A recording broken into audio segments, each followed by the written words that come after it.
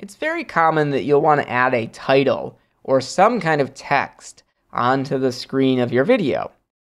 I'm going to revert back to the original layout to bring my browser back, and I'm going to show the titles and generators sidebar. You'll notice there's two categories, generators and titles. And if I open up the titles category, we see the various types of titles. You can select one of these categories and see just that type of title. So in this video, I'm going to show you two types of titles but definitely go into these and experiment with all the other ones that are there. But the first one I want to show you is just the basic title. So I'm going to click and drag this title onto the project and let go of it. For titles, they're going to show up in this purple color, as this purple bar. And wherever that title, wherever this bar is listed, that title is going to show up on the screen. So you'll notice on the screen here, the word title is just right in the middle. With titles, you can double click on the text and just start typing in the title that you want to show up.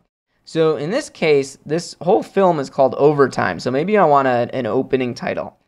So I'll just type in Overtime. On the right side in the inspector, we do get a titles inspector that allows us to go in and make changes to it.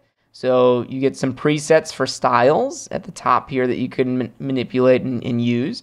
Uh, but you also have some of the more basic parameters for text, like what font you're going to use the uh, variation of that font, the size of the font, line spacing, all kinds of stuff. And you'll notice some of these things that I uh, select don't have an effect on the text because we only have one line.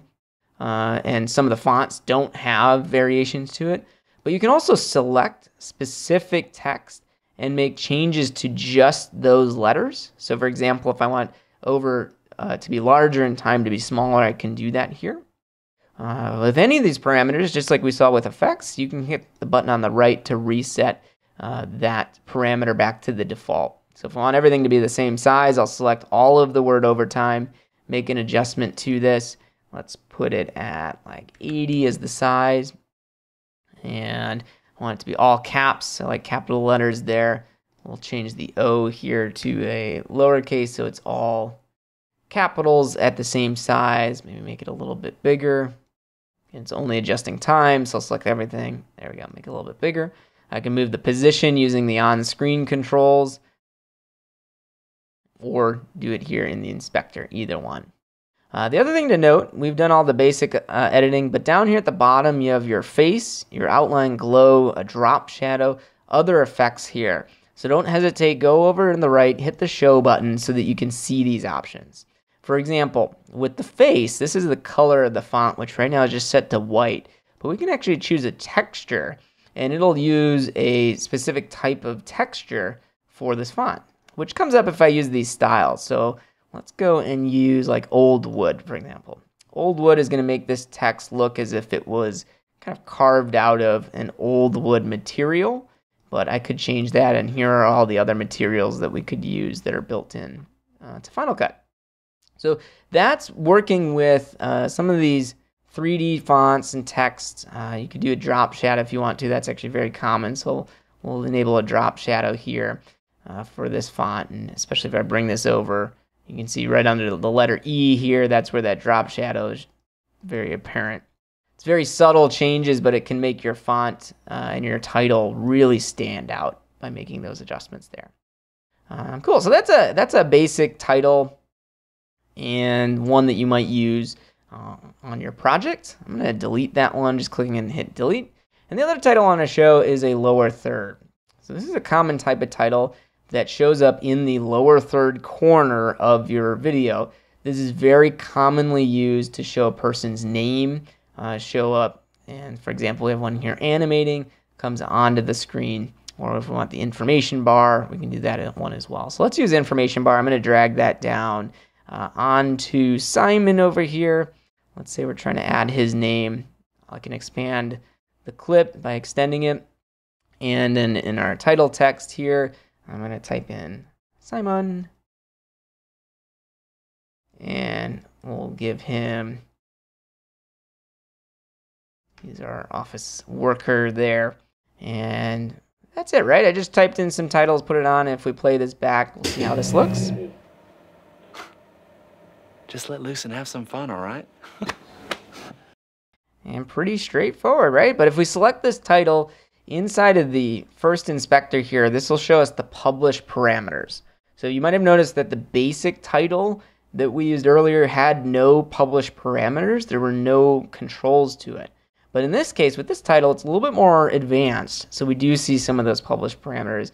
For example, the build in and the build out, those are the animations that happen at the beginning and the end to fade the title in. I can disable those just by unchecking those boxes there. We can also change the line uh, color. So let's go in and change that. We want the font color to be a little bit different. Maybe that bar in the background should be a different color. We can go through and customize that title. So these are all things that you have access to here inside of Final Cut, which is really nice. And then the final thing I want to show you is working with keyframes again. We've talked about this before, but all of these parameters that show this little diamond on the right are keyframeable. You can actually make changes to them. So let me do Command Z to take our title back here. And let's just focus on the name here of Simon. To do this, I'm actually going to zoom in. We'll go up to 200%. I'll use this little box to reposition it so we can just see the, the text here. And what I actually want to have happened over the, the length of this title is I want the color of the text that says Simon to be changing. So I'm going to take the playhead back to the beginning of this clip. I'm going to go into the line one color. Uh, on the right side, I'm going to add a keyframe. And we're going to start this off on a color wheel here in as green. I'm going to start off with a green color. This is going to be very ugly, but that's, that's okay. I'm going to change this into about the middle of the title. I'm going to add another keyframe that for the color, only this time I'm going to change it over to red. And if for some reason the color is not changing, you can drag the little well here right into the color space uh, there into that well and it'll update it. Does that look good? And then let's go to the end of the title. I'm going to add another keyframe.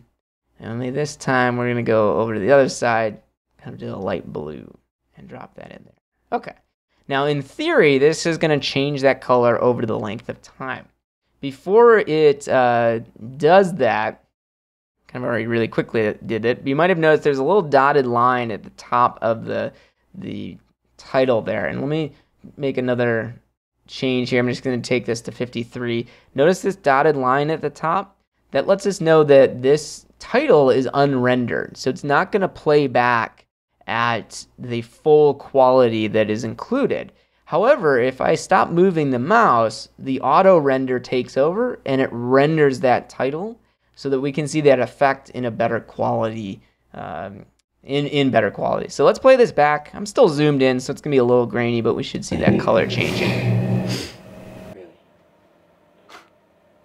Just let loose and have some fun, all right?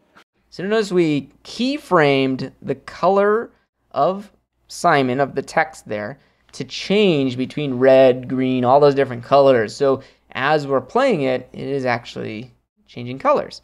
So again, I'm to do Shift Z, mute my speakers here, play it back, and we'll see that color is changing in the lower Just third. Loose and have some fun, all right? So that's another way that you can use keyframes to manipulate the parameters that you have there and in this case, we created some titles using both the basic text and a lower third, in this case, the information bar.